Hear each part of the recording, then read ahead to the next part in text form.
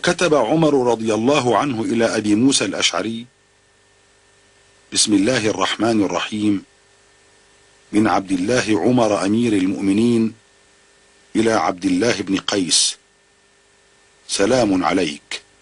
أما بعد فإن القضاء فريضة محكمة وسنة متبعة فافهم إذا أدلي إليك وأنفذ إذا تبين لك.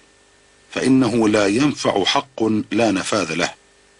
آس بين الناس في مجلسك ووجهك حتى لا يطمع شريف في حيفك ولا ييأس ضعيف من عدلك. البينة على من ادعى واليمين على من أنكر. والصلح جائز بين المسلمين إلا صلحا أحل حراما أو حرم حلالا. ولا يمنعنك قضاء قضيته بالأمس فراجعت فيه نفسك وهديت لرشدك أن ترجع إلى الحق.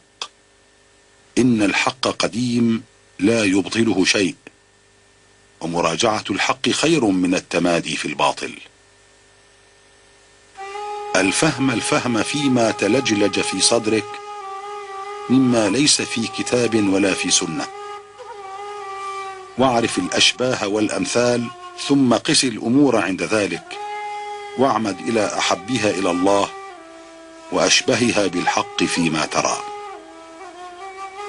واجعل لمن ادعى حقا غائبا أو بينة أمدا ينتهي إليه فإن أحضر بينته أخذت له بحقه وإن استحللت عليه القضاء فإن ذلك أنفى للشك وأجلى للعمى. وأبلغ في العذر. والمسلمون عدول في الشهادة بعضهم على بعض إلا مجلودا في حد أو مجربا عليه شهادة زور أو ظنينا في ولاء أو قرابة. فإن الله قد تولى منكم السرائر ودرأ عنكم الشبهات.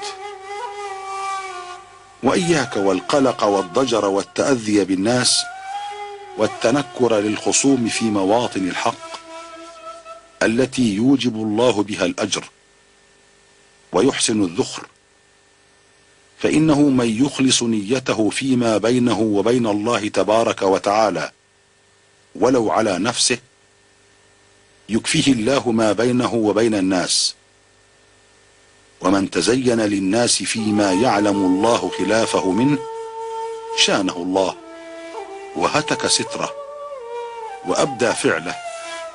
فما ظنك بثواب عند الله عز وجل في عاجل رزقه وخزائن رحمته؟ والسلام